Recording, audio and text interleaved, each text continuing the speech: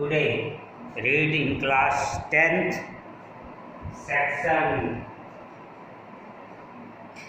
B subject maths chapter 6 similar triangle recall read in class 9th congruent triangle rules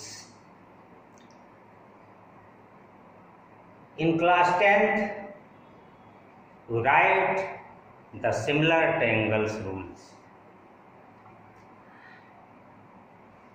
First, difference between the congruent and similar triangles. Congruent triangles have the same shape and size, but similar triangles have the same shape यानी जो congruent angle होते हैं, दो congruent angle या दो से अधिक हों तो उसमें उनकी जो बनावट होती है, वह एक जैसी होती है। और जो भुजाएँ हैं, प्रत्येक भुजाएँ जो हैं, वो प्रत्येक दूसरे टेंगल की भुजा के बराबर होते हैं।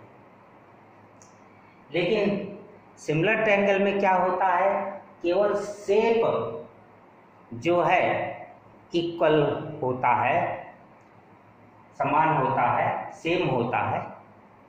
सेम का मतलब है बनावट। केवल बनावट उनकी एक जैसी होती है, लेकिन उसके ईच साइड्स इक्वल नहीं होते। बल्कि ईच साइड्स जो है, वो प्रोपोर्शनल होते हैं। In congruent angles each angles and sides are equal फिर एक दूसरा भी सिस्टम लिख दिया गया। कि कांगुरेंट एंगल में प्रत्येक एंगल और प्रत्येक प्रत्येक जो साइड्स है वो इक्वल होती है but similar angles each angles are equal and each sides are proportional जबकि सिमिलर एंगल में क्या होता है? केवल एंगल ईच इक्वल होते हैं दो। सिमिलर एंगल में। या सिमिलर फिगर में। और इस साइड इक्वल नहीं होते, बल्कि इस साइड प्रोपोर्शनल होते हैं।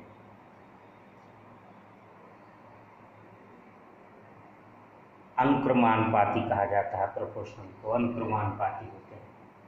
फिर कुछ एग्ज़ाम्पल दिया है example of similar triangle already कुछ फिगर्स ऐसे हैं जो सिमिलर होते हैं। वो लिखा नहीं जाता कहीं कि ये सिमिलर है। जहाँ ज़रूरत होगी टेंगल क्वाड्रिलेटरल में, वहाँ लिखा जाता है प्रश्न में कि ये सिमिलर है। लेकिन जो ऑलरेडी सिमिलर फिगर होते हैं, उसे क्वेश्चन में नहीं दिया जाता। तो पहला है first two congruent already similar जो कांगुरेंट है, वो ऑलरेडी सिमिलर है, उसे सिमिलर करने की ज़रूरत नहीं, क्योंकि सिमिलर में एंगल्स ईच इक्वल होते हैं, जबकि कांगुरेंट में एंगल्स और साइड ईच साइड्स इक्वल होते हैं। तो चूँकि ईच एंगल्स उसमें भी इक्वल है कांगुरेंट में भी साइड्स के अतिरिक्त ईच एंगल्स भी इक्वल है, और सिमिलर में ईच एंगल्स इक्वल होते हैं, इसलिए congruent angle already at the similar triangle second दिया है टू इक्विलेटरल ट्रायंगल्स क्योंकि इक्विलेटरल ट्रायंगल्स का शेप एक सेम जैसा होता है। यानी उसके एंगल्स जो हैं सभी सिक्सटी सिक्सटी होते हैं। तो चाहे जितने ट्रायंगल्स इक्विलेटरल बनाए जाएँ, उनके साइड जो है छोटे बड़े कर सकते हैं आप, लेकिन वे सभी ऑलरेडी सिमिलर होंगे। इसी तरीके से स्क्वायर आप बनाएँगे, चाहे छोटा बनाएँ, बड़ा बनाएँ, वो सभी सिमिलर फिगर है। इसके अतिरिक्त सर्कल भी सिमिलर फिगर होता है, चाहे वो छोटा बनाए, चाहे बड़ा बनाए, उसके भी एंगल सेम होता है थ्री हंड्रेड सिक्सटी डिग्री ये सभी ऑलरेडी सिमिलर फिगर हैं। अब इसके बाद आते हैं। Exercise six point